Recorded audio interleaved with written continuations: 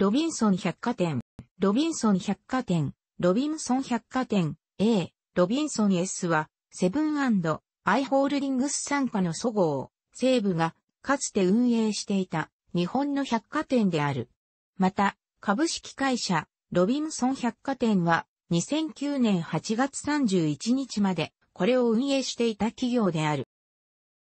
2013年2月の時点で2店舗残存していたが、2013年3月より同じそごう、西武が運営する西武ブランドに転換した。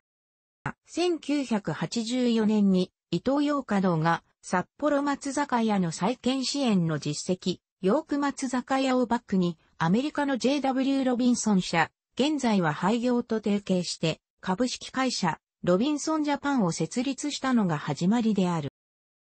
1985年11月に伊東洋華堂のドミナントエリアの中で百貨店空白地帯であった埼玉県春日部市に三井不動産による春日部三井ショッピングセンターの各テナントとして最初の春日部店を開業した。開店時に行われたオープニングセレモニーには創業の地ロサンゼルスから市長のも出席した。ここには当初、西武百貨店、当時は西武流通グループが入居することが決まっていた。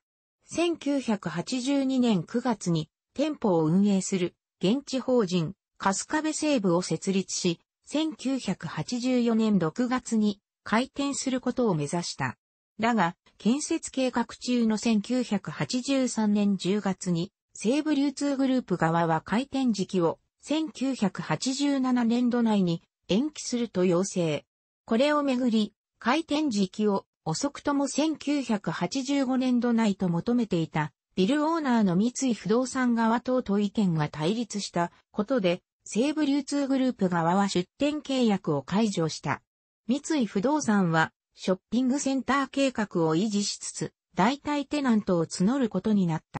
た。これを見た伊藤洋華堂側が同年11月にテナントを引き受ける形で上記のヨーク松坂屋を出店させることとなった。その後、建設中の1984年9月26日に、伊藤洋華堂がロビンソン社と提携したことを受けて、ヨーク松坂屋からロビンソン百貨店へ変更となった。また1990年4月には、栃木県宇都宮市に宇都宮店を開業させ、1994年3月には、ヨーク松坂屋の経営をロビンソンジャパンに譲渡させ、ロビンソン百貨店札幌店とした。2000年9月には、ダイナシティウエストの各店舗として、小田原店を開業させ、一時期は国内に最大4店舗に拡大した。この間にロビンソンは、東京23区最後の駅前再開発と呼ばれた、足立区、北千住駅前へ、丸井、三越、東武百貨店などと出店を目指して争い、伊東洋華堂創業の地でもあることなどから最後で出店にこだわったが、最終的には丸井に敗退する結果となった。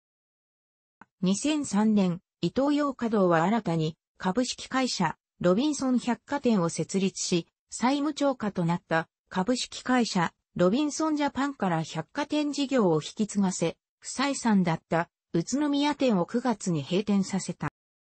2007年、伊東洋華堂の親会社のセブンアイ・ホールディングスは、当時、完全子会社になっていたそごうと、西武百貨店の持ち株会社である、株式会社ミレニアムリテイリングに、ロビンソン百貨店の営業業務を移管した。将来ロビンソン百貨店をミレニアム参加のそごうと西武百貨店に統合させ、運営を一本化して、グループ全体の百貨店事業の効率運営を目指すことが狙いあった。